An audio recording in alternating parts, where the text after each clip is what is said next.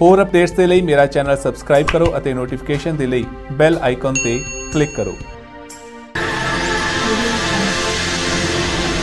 Mr. Singh Productions presents Guru Roop Khalsa ਸਾਧ ਸੰਗਤ ਜੀ ਧੰਨ ਸਤਿਗੁਰੂ ਸ੍ਰੀ ਗੁਰੂ ਗ੍ਰੰਥ ਸਾਹਿਬ ਜੀ ਦੀ ਪਾਵਨ ਪਵਿੱਤਰ ਗੋਦ ਵਿੱਚ ਜੁੜ ਮਿਲ ਬੈਠੇ। ਗੱਜ ਕਰਕੇ ਫਤਿਹ ਬੁਲਾਓ। ਵਾਹਿਗੁਰੂ ਜੀ ਕਾ ਖਾਲਸਾ ਵਾਹਿਗੁਰੂ ਜੀ ਕੀ ਫਤਿਹ। ਮੈਂ ਸੰਗਤਾਂ ਨੂੰ ਬੇਨਤੀ ਕਰਦਾ ਹਾਂ।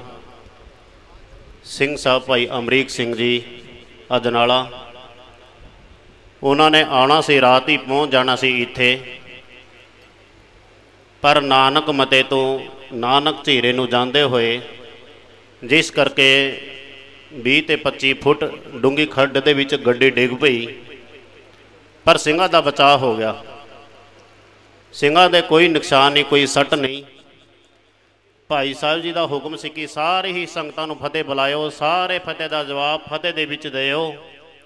ਨਾਲ ਇਹ ਭਾਈ ਸਾਹਿਬ ਜੀ ਨੇ ਬੇਨਤੀ ਕੀਤੀ ਸੀ ਕਿ ਜਿਹੜਾ ਵੀ ਕੌਮ, ਜਿਹੜਾ ਵੀ ਸਿੰਘ ਸਾਹਿਬ, ਜਿਹੜਾ ਵੀ ਪ੍ਰੋਗਰਾਮ ਦੇਣਗੇ, ਉਹਦੇ ਨਾਲ ਅਸੀਂ ਮੋਢੇ ਦੇ ਨਾਲ ਮੋਢਾ ਲਾ ਕਰਕੇ ਤੁਰਾਂਗੇ। ਇਹ ਸਾਰੀ ਸੰਗਤ ਨੂੰ ਫਤਿਹ ਪ੍ਰਵਾਨ ਕਰਨੀ ਗੱਜ ਕਰਕੇ ਆਖੋ, ਵਾਹਿਗੁਰੂ ਜੀ ਕਾ ਖਾਲਸਾ, ਵਾਹਿਗੁਰੂ ਜੀ ਕੀ ਫਤਿਹ।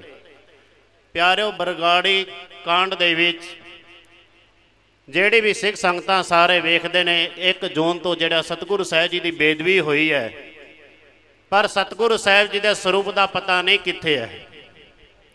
ਕਿਹੜੇ ਹਾਲਾਤ ਦੇ ਵਿੱਚ ਹੈ, ਕਿਹੜੀ ਥਾਂ ਤੇ ਰੱਖਿਆ ਦੁਸ਼ਟ ਪਾਪੀਆਂ ਨੇ, ਪਰ ਅਜੇ ਤੱਕ ਉਹ ਸਰੂਪ ਦੀ ਕੋਈ ਖੋਜ ਨਹੀਂ। ਜਿਸ ਦੇ ਪਹਿਲਾਂ ਬਾਪੂ ਸੂਰ ਸਿੰਘ ਨੇ ਭੁੱਖ ਹੜਤਾਲ ਰੱਖੀ ਸੀ, ਬੰਦੀ ਸਿੰਘਾਂ ਦੀ ਹਰਿਆਈ ਵਾਸਤੇ। ਜਿਸ ਵੇਲੇ ਸੰਘਰਸ਼ ਬਹੁਤ ਹੀ ਤੇਜ਼ ਹੋਇਆ ਤੇ ਬਰਗਾੜੀ ਵਾਲਾ ਕੰਡ ਵਾਪਰਦਾ ਹੈ। ਪਰ ਜਿਸ ਵੇਲੇ ਬਰਗਾੜੀ ਵਾਲਾ ਕੰਡ ਵਾਪਰਿਆ ਤੇ ਬਾਅਦ ਦੇ ਵਿੱਚ ਸਰਬਤ ਖਾਲਸਾ ਚੁਣਿਆ ਜਾਂਦਾ ਹੈ। ਬਾਦਲ ਦੀ ਅਖੋਤੀ ਸਰਕਾਰ ਦੇ ਹਾਲਾਤ ਵੇਖ ਕਰਕੇ ਜਦੋਂ ਸਰਬਤ ਖਾਲਸਾ ਸੁਣਿਆ ਗਿਆ, ਸਿੰਘ ਸਾਹਿਬ ਦੀ ਚੋਣ ਹੋਈ, ਸੰਗਤਾਂ ਨੇ ਚੁਣਨਾ ਕੀਤਾ। ਪਰ 3 ਸਾਲ ਸਾਡੇ ਸਿੰਘ ਸਾਹਿਬਾਂ ਨੇ ਵੀ ਇਦਾਂ ਹੀ ਟਪਾ ਦਿੱਤੇ। ਕਿਉਂਕਿ ਕਈਆਂ ਥਾਵਾਂ ਤੇ ਪ੍ਰੋਗਰਾਮ ਹੋਏ, ਸਮਾਗਮ ਹੋਏ, ਮੈਂ ਪਹਿਲਾਂ ਵੀ ਸਿੰਘ ਸਾਹਿਬ ਜੀ ਨੂੰ ਬੇਨਤੀ ਕੀਤੀ ਕਿ ਸਿੰਘ ਸਾਹਿਬ ਜੀ ਹੁਣ ਪ੍ਰੋਗਰਾਮ ਇਹੋ ਜਿਹਾ ਦਿਓ ਕਿਉਂਕਿ ਬਾਅਦ ਦੇ ਵੀ ਸੰਗਤਾਂ ਦਾ ਵਿਸ਼ਵਾਸ ਉੱਠ ਜਾਂਦਾ ਹੈ।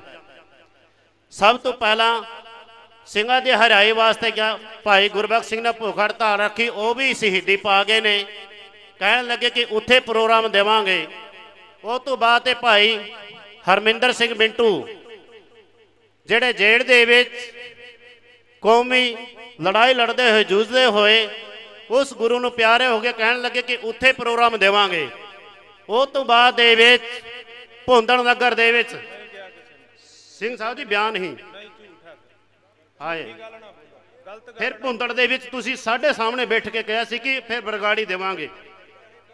ਫਿਰ ਵਿਸਾਖੀ ਦਾ ਵੀ ਕਿਹਾ ਸੀ ਤੁਸੀਂ, ਸਿੰਘ ਸਾਹਿਬ ਜੀ। ਹਾਂਜੀ।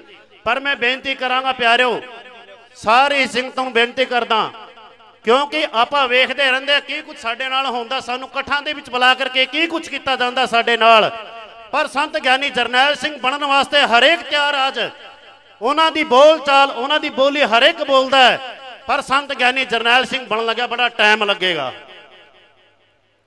ਕਿਉਂਕਿ ਸੰਤ ਗਿਆਨੀ ਜਰਨੈਲ ਸਿੰਘ ਜਿਹੜਾ ਕੁਝ ਵੀ ਕੋਈ ਬਚਨ ਕਰਦੇ ਸੀ, ਜਿਹੜਾ ਵੀ ਸੰਗਤ ਨੂੰ ਪ੍ਰੋਗਰਾਮ ਦਿੰਦੇ ਸੀ ਪਰ ਉਹਦੇ ਉੱਤੇ ਸਾਰੀ ਸੰਗਤ ਫੁੱਲ ਚਾੜਦੀ ਤੇ ਸੰਗਤਾਂ ਸਾਰੇ ਸੰਯੋਗ ਦਿੰਦੇ ਸੀ।